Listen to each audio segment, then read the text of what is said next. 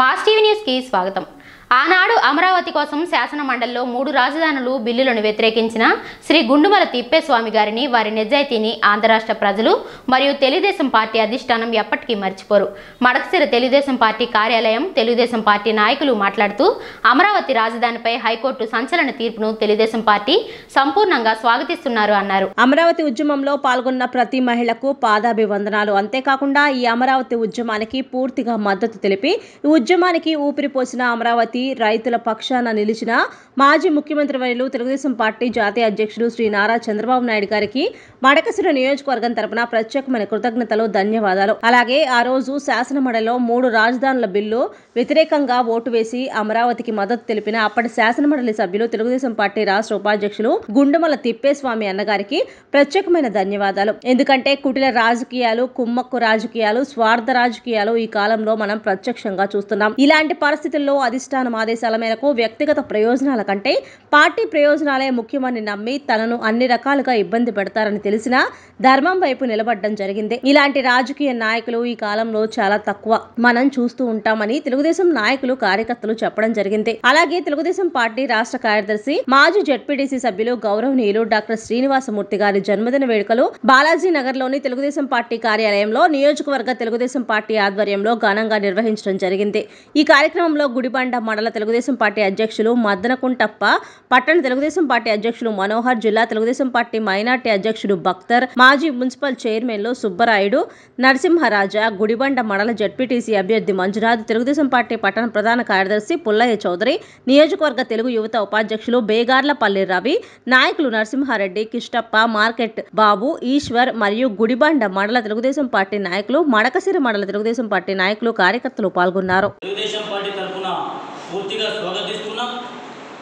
హైకోర్టుకి గర్వంగా ఈరోజు మనం తెలుగుదేశం పార్టీ గర్వపడుతుంది హైకోర్టు తీర్పును పూర్తిగా స్వాగతిస్తూ ఆనాడు రాష్ట్ర విభజన అయిన తర్వాత విభజనలో భర్తీ చేసే నాయకత్వం శ్రీమన్ నారా చంద్రబాబు నాయుడుదేని ఐదు కోట్ల ఆంధ్రుల నమ్మి ఆయనకి గౌరవ ముఖ్యమంత్రి పట్టాన్ని కడితే ఆయన ముఖ్యమంత్రి గారు అయితేనే ఈ విభజనలో అయినటువంటి విభజనలో అమరావతి రాజధానిని పూర్తి చేస్తాడన్న ఒక దృఢ సంకల్పంతో ఆ రోజు ఐదు కోట్ల ఆంధ్రులు ఆయనకు పట్టడం కట్టడం జరిగింది.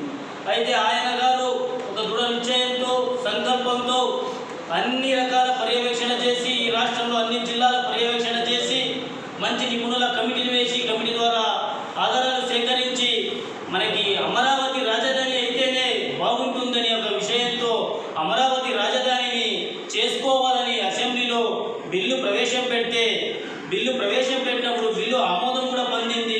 ఆనాడు ప్రతిపక్ష నేతగా గౌరవ జగన్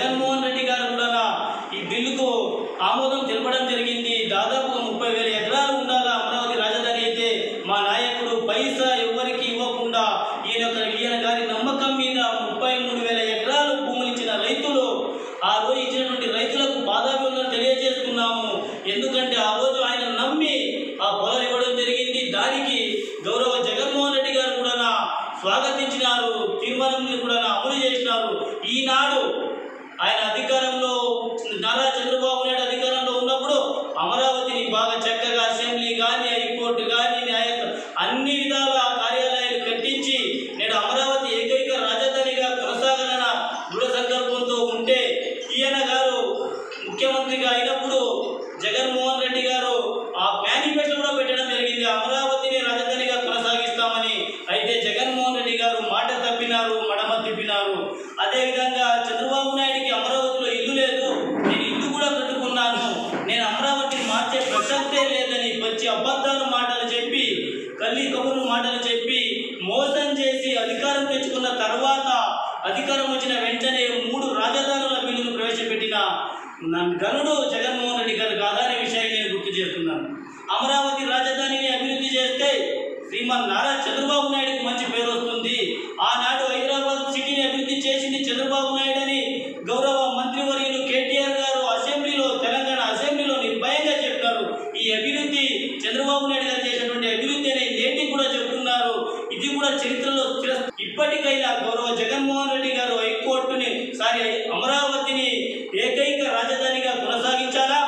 ఆ అమరావతి రాజధాని విషయంలో మన నాయకుడు పటకచిర నియోజకవర్గ పొడుగు బలైన వర్గాల ఆశా జ్యోతి ఆనాటి శాసన మండలి సభ్యులు ఆమె మూడు రాజధానుల కోసం అసెంబ్లీలో గౌరవ జగన్మోహన్ రెడ్డి వాళ్ళు తీర్మానం పెట్టుకుంటే అసెంబ్లీలో మెజార్టీ ఉన్నప్పటికీ వాళ్ళు బిల్లుని ఆమోదం చేసుకున్నారు.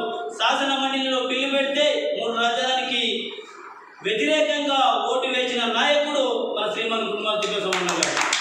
చంద్రబాబు నాయుడు గారి ఆదేశాల మేరకు ఎన్ని ప్రలోభాలు పెట్టినా ఎన్ని ఒత్తిళ్ళైనా ఎదుర్కొని ఆయన మూడు రాజధానులకు వ్యతిరేకంగా ఓటేసినటువంటి ముఖ్యమైన నాయకుడు ఏకైక రాజధాని అమరావతి ఉండాలని ఓటేసిన నాయకుడు గురుమాల తిప్పేశ్వరమ్మ గారు ఆనాడు కూడా విజయవాడలో ఆయన గారి చేతిలోనే ఉన్నాను నేను ఆయన అప్పుడు కూడా శివమాల దీక్షలో ఉన్నారు ఆనాడు ఆ శాసన మండలి సమావేశంలో బిల్లు తీర్మనప్పుడు శివమాలలో ఉన్నారు ఆయన కూడా ఉన్నారు అక్కడ ఉన్నాము.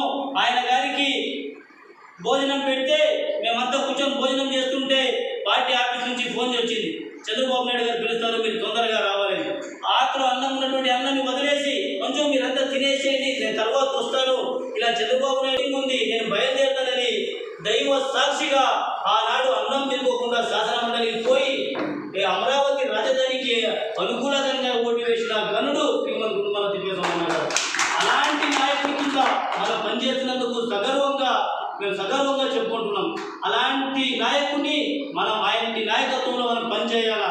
ఈరోజు ఆంధ్రుల రాజధాని అమరావతి ఐదు కోట్ల రాజధాని అమరావతి అక్కడ ఉన్నటువంటి రాజధానిలో ఉన్నటువంటి ప్రజలు ఈ రోజు మనకు మడచిన నియోజకవర్గం తరఫున ఆయన శాసన మండలి ఆయన యొక్క వ్యక్తి మన యొక్క ఆదర్శంగా నిలిచినారు. ఆయన గారికి నియోజకవర్గం తరఫున ప్రత్యేకమైన ధన్యవాదాలు. అదేవిధంగా అమరావతి రాజధానికి ముక్క నాటినటువంటి గౌరవ ఆనాటి ముఖ్యమంత్రి చంద్రబాబు నాయుడు